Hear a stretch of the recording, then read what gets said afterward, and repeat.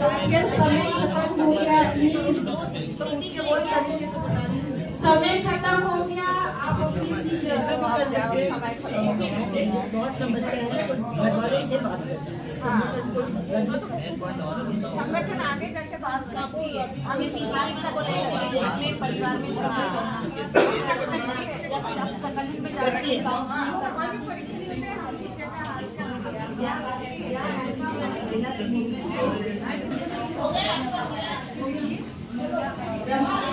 लोग एक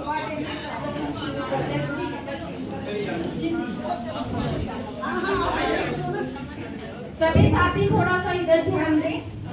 हम लोग अपना प्रेजेंटेशन शुरू कर रहे हैं। और ग्रुप नंबर थ्री से शुरू कर रहे हैं। ग्रुप नंबर थ्री के साथी हैं।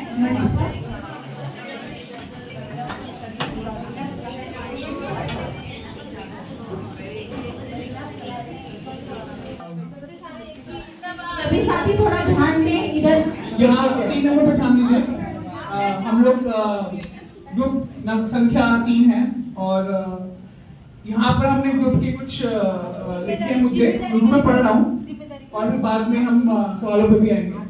पहला सवाल जो हमने लिखा है वो ये है आपके अनुभव से महिला श्रमिकों के निजी जीवन में किस तरह के मुद्दे हैं जो उनके कामकाज पर असर डालते हैं? और पॉइंट ए है महिला श्रमिक जब घर से बाहर जाते हैं तो परिवार का साथ नहीं होता। बी है शिक्षा का स्तर कम होने के कारण सही रोज़गार नहीं मिलना सी है महिलाओं को निर्णय देने का अधिकार नहीं। डी है मासिक चक्र के समय काम में बाधा आना। तो ये मुद्दे हैं जो पहला क्वेश्चन मैम ने बोला था अ, उसके पीछे। इसमें अगर किसी साथी का कोई सवाल हो तो पूछ सकता है। ये हमारे पूरे ग्रुप से निकल के आया था कि निजी जीवन में क्या क्या दिक्कतें महिलाओं को आती हैं। जी है काम के दौरान यौन हिंसा होना घर का काम में बाधा काम करने के बाद भी महिला को बराबरी और सम्मान नहीं मिलना। बिना सहमति के सेक्स करने से महिलाओं के मानसिक व शारीरिक स्वास्थ्य पर असर होने के कारण काम पर असर होता है उसके निजी जीवन में भी असर होता है। दूसरा अभी मुद्दों पर कोई और रखना चाहिए? संगठन क्या काम कर सकता है? जो सेकंड सवाल था। तो महिलाओं के समूह बनाकर बैठक करके और मुद्दों पर जानकारी दे सकता है संगठन? महिला में अ, महिला में जागरूकता ज़रूरी है। महिला महिलाओं के अधिकार में कानूनी जानकारी पितृसत्ता जाति व्यवस्था वर्ण व्यवस्था पर जानकारी दे सकते हैं।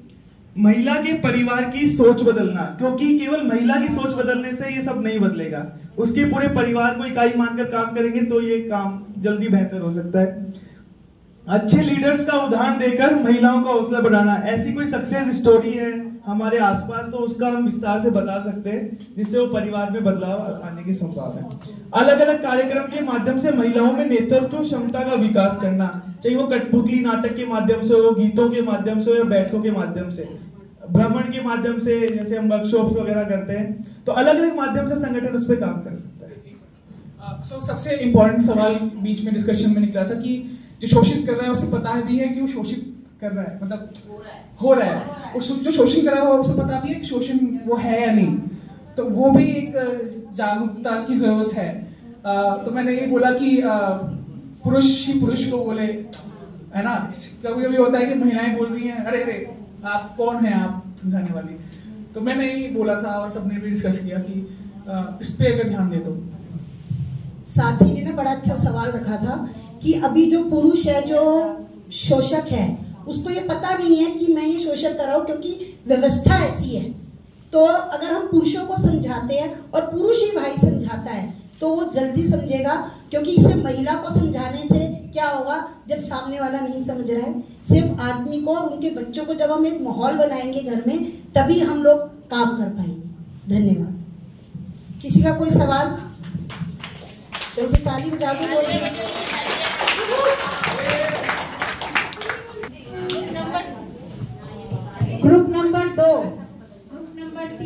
साथियों का बहुत बहुत धन्यवाद। बहुत अच्छे मुद्दे आपने निकाले।